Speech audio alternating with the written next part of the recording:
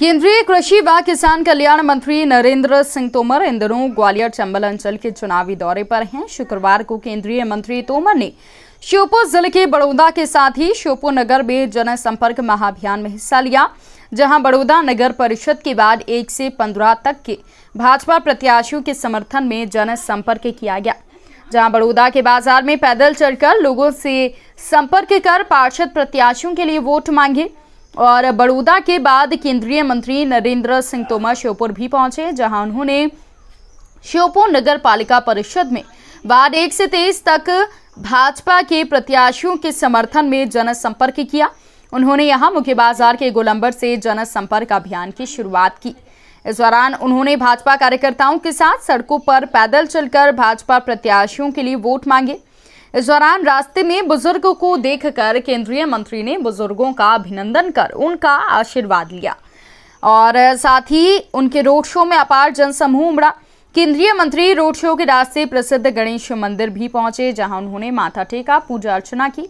गणेश जी का आशीर्वाद लेने के बाद केंद्रीय मंत्री ने वोट मांगे। इस दौरान कभी खुली जीप में तो कभी सड़कों पर पैदल चलकर उन्होंने वोट मांगे। रोड शो रोड शो कर, किया आपने आज और आपने ये भी देखा होगा कि कुछ जो भाजपा के ही नेता थे, वो बागी होकर निर्दलीय चुनाव लड़ रहे हैं। माहौल कैसा लगा आपको? आपने वार्डों का निरीक्षण किया है। क्या देखने को मिला नगर पालिका चुनाव? देखिए, मैं भारतीय जनता पार्टी का कार्यकर्ता हूँ। कार्यकर्ता के नाते मुझे यहाँ के कार्यकर्ताओं ने और जनता ने सांसद के रूप में चुना इसलिए अगर यहाँ पार्षदों का चुनाव होता है तो मेरा ये प्राथमिक धर्म है कि मैं उनके लिए परिश्रम करूँ, उनके लिए वोट मांगूं, उनके लिए समर्थन जुटाऊं।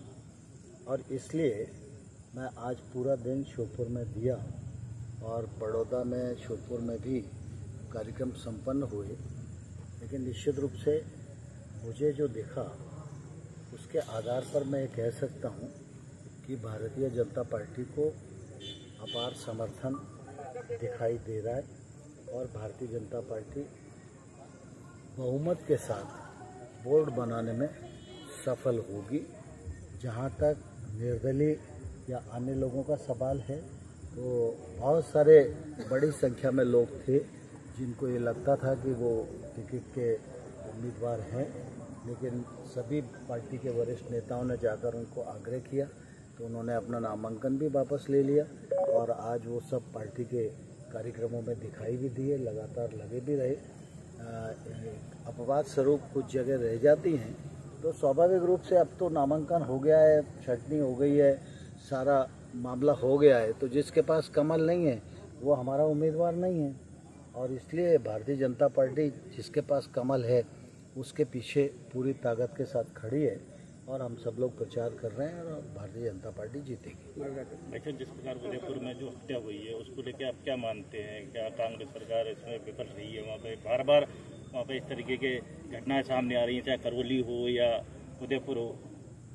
देखिए उदयपुर की घटना बहुत ही निंदनीय है और उस घटना का अब एनआईए जाँच कर रहा है।